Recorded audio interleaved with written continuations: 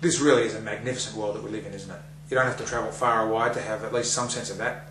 Whether it's the vast expanse of the oceans and the deserts, uh, the terrible power of the wind and the waves, the beautiful tranquility of the mountains and the lakes. It really is a beautiful world that we get to be part of.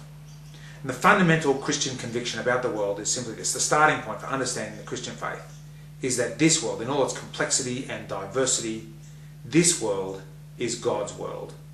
That He made it, that He sustains it, that it derives its origin from Him, that it derives its destiny for Him. This world is God's world. Actually, it makes sense when you think about it. There are only two alternatives available to you. One is that the world is eternal, that it's no one's world, it just kind of existed as one of those things from all eternity. Uh, actually, our best scientific knowledge is that that's not the case, that the universe, the space and time of this universe came into existence at a certain point in time. The only other option is that the world kind of spontaneously brought itself into its own existence.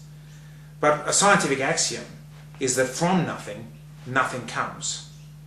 Interestingly, it was atheist scholars who initially opposed the emerging evidence for the emergence of the universe, what was called the Big Bang. They realized that if the world was not eternal, and the world didn't bring itself into its own existence, then that was good evidence for the existence of a creator. And that creator we Christians call God.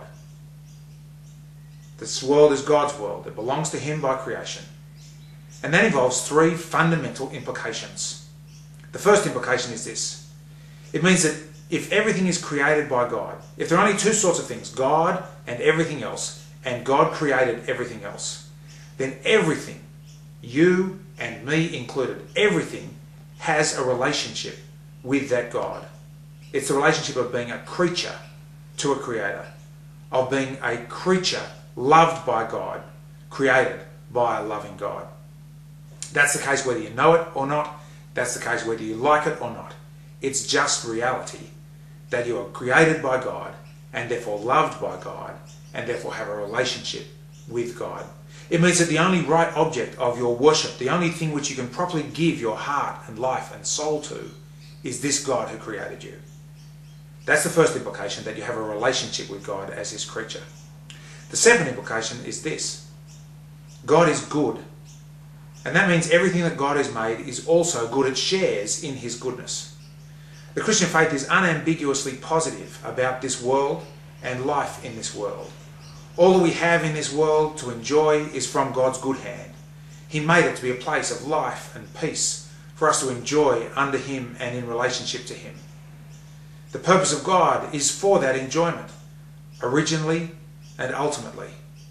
He gives us the gift of life. He gives it to us to enjoy.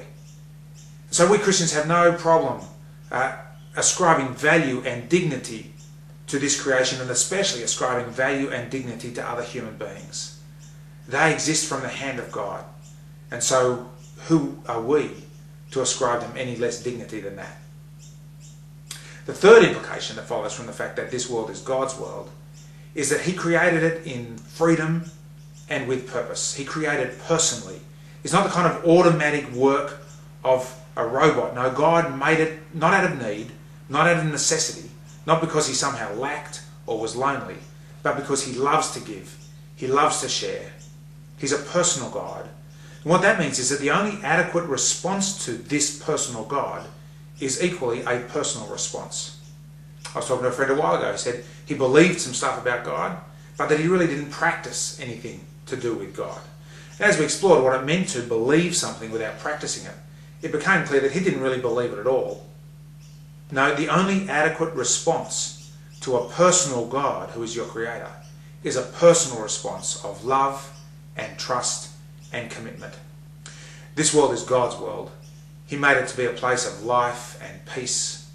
He made it to be a place of joy and thanksgiving. Uh, there's no danger in being a Christian, you see. Only fulfillment.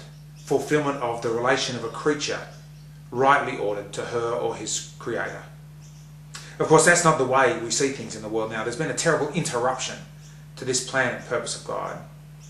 But the starting point is important. This is God's world. He made it. And everyone and everything in it has a relationship to Him.